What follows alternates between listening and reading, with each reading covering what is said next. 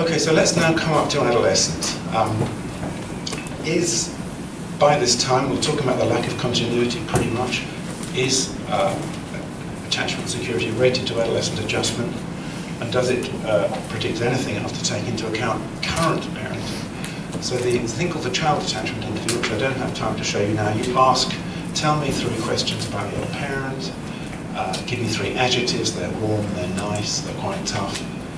Give you some examples, and again, rather like the adult attachment if you give them examples. But actually, if you measure current parenting, maybe all that is is a picture of what's going on in the minute, how my mum was to me in the last month. Um, and the question is, what kind of parenting predicts security?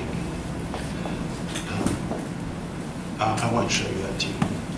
So we took quite a lot of 248 teenagers of different risk levels, um, where we did lots of measures of them.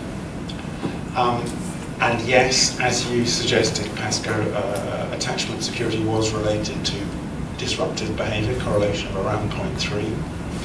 Um, um, but then the question is, does attachment predict anything after, as we measured it? We measured it quite thoroughly, questionnaires, interviews, direct observation, did it predict? Um, and it did, yes. It, it, it seemed to be important. Uh, it wasn't just current parenting quality that predicted whether children go bad. Their attachment representation did predict something. So it's as if they're carrying something around in them that mattered beyond how their parents were them to now. Um, but, and interestingly, again, sensitive responding was uh, attack associated with uh, security, but limit setting and supervision as well in adolescence was important, which is less talked about in classic attachment that actually uh, some psychoanalytic writers talk about containment. Um, and it's as if you're doing that, which is setting a limit in a fair way. So I think attachment in adolescence is more than just a readout of how you're currently being parented, um, but limit setting and uh, consistent supervision is important as well. Um, We've just recently uh, finished a follow-up study from early childhood to uh, early adolescence. So this is four, five, six-year-olds to um, between 10 and 17-year-olds um, to see what predicts uh, security. So this is the outcome measure using the child attachment thing.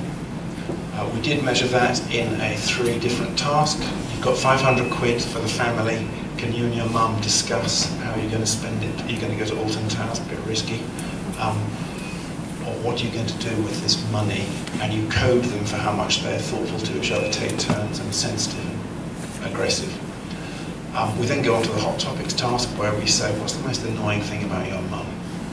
Uh, she's boring, she won't buy me a new Xbox 4, whatever it may be.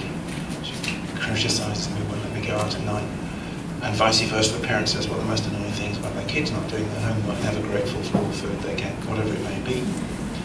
Um, and so that's called the hot topics task, and we code that. Um, and uh, that's still correlated uh, quite well. Um, then the question is, is there continuity in the parenting? Uh, were the parents uh, who were eight years ago sensitive responding in this little task group? I mean, a lot's happened. Uh, they've grown up um, and it's a little tiny little 20, 30 minute task. It did, it correlated quite a lot in developmental psychology. So those parents who were sensitive were also sensitive later.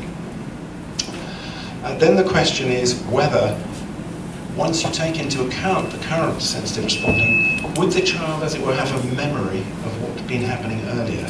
And the answer was modest but true, even after taking account current parenting it is as if these adolescents, or you and me when we were young, are still carrying around not just how your parents are to you now, but what they were like before. I mean, of course, there are lots of other things that could have contributed to that, but it was nonetheless quite interesting. Final